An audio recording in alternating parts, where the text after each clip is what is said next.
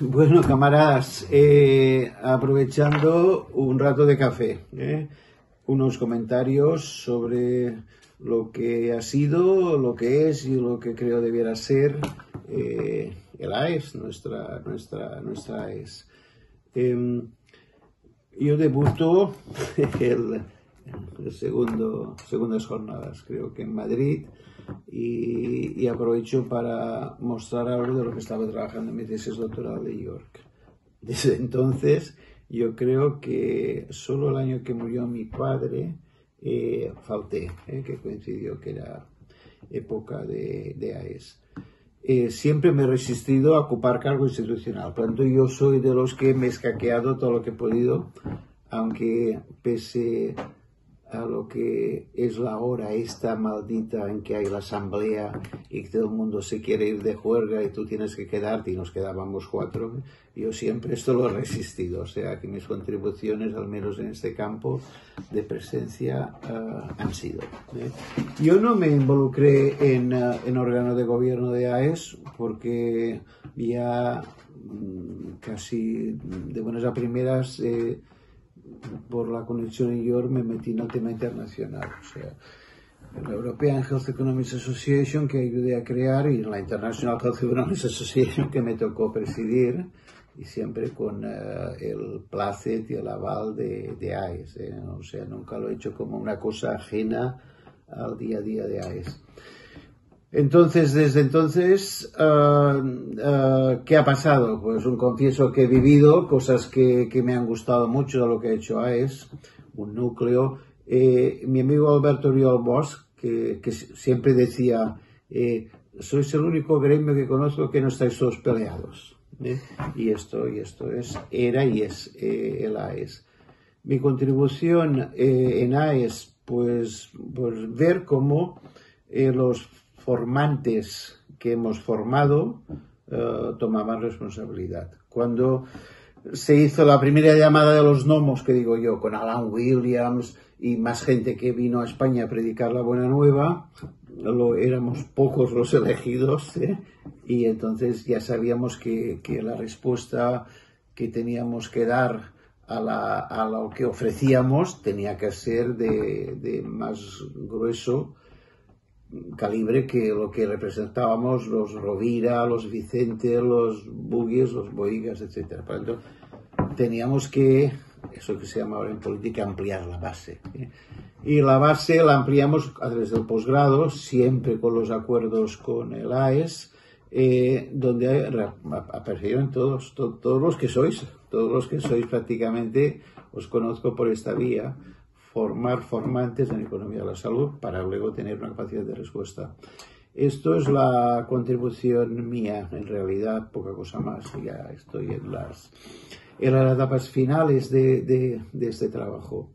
Eh, para mí, eh, sí, yo también me he enriquecido, obviamente, es un modo de filtrar, de, de compartir, de escuchar a gente que sabe más que tú.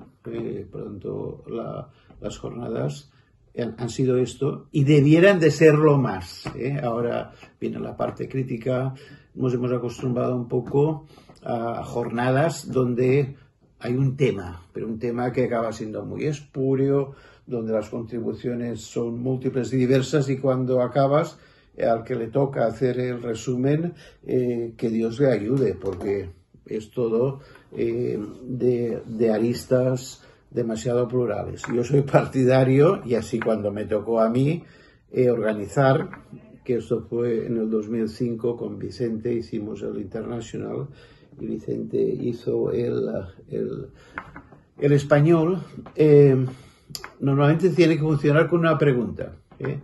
El, el tema de la jornada tiene que ser una pregunta, y al final tenemos que ser capaces como asociación de sacar un decálogo, al menos cuatro cosas que entre todos hemos aprendido o sabemos y las que no sabemos, que son importantes para que cada cual se, de algún modo se arremangue y, lo analice. Por tanto, lo, no quiero tema espurio, lo critico, quiero preguntas, a ver qué capacidad de respuesta tenemos.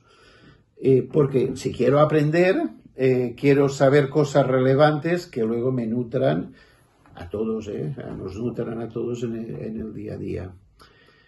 En este proceso yo no tengo muchas anécdotas, ¿eh? ya os digo que las anécdotas suelen aparecer cuando acaban los congresos y la gente sigue a los, a los más, como dirías, más atrevidos, los que duermen menos. Lidera Ricard Meneus, esto es seguro.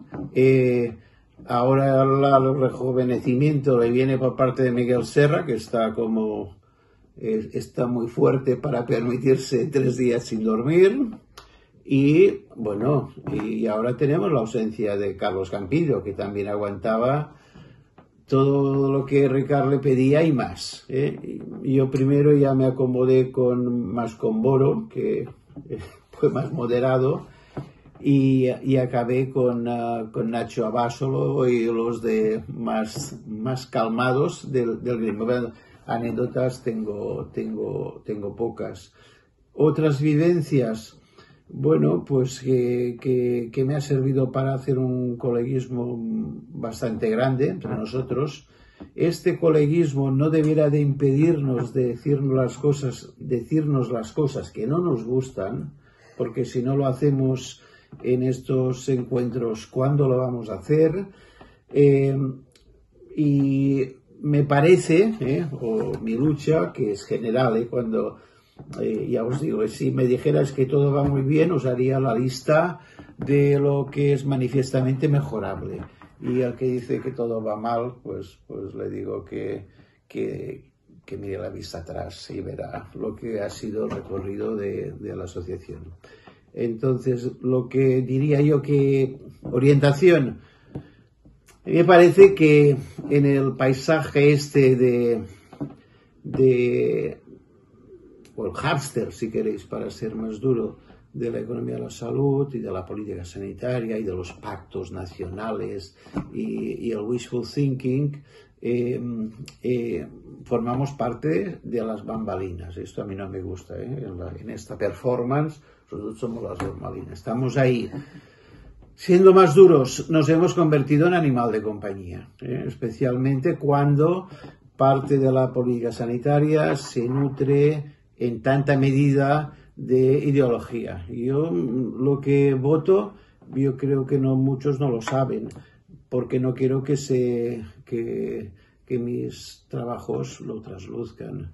Lo que votan otros de, de la asociación es que se ve claramente solo por la capacidad de crítica que tienen cuando los que mandan son los suyos. Entonces, esto me parece muy mal y que se tendría que impermeabilizar eh, más, ¿eh? para el bien del grupo. ¿eh?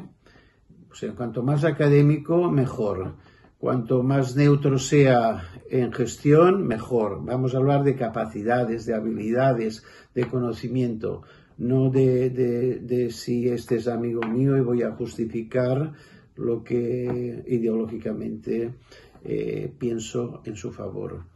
Eh, entonces yo sería crítico por este lado. Yo sé que eso es muy difícil, porque la corporación tiene que haber de todo, pero yo creo que nos hemos de marcarnos un futuro que nos hagamos respetar más, eh, porque ya os digo, entre que la política sanitaria tiene muy poco respeto en general en la política pública, encima solo falta que nuestros grandes o pequeños activos que supongan nuestro capital humano forme parte de este pesebre.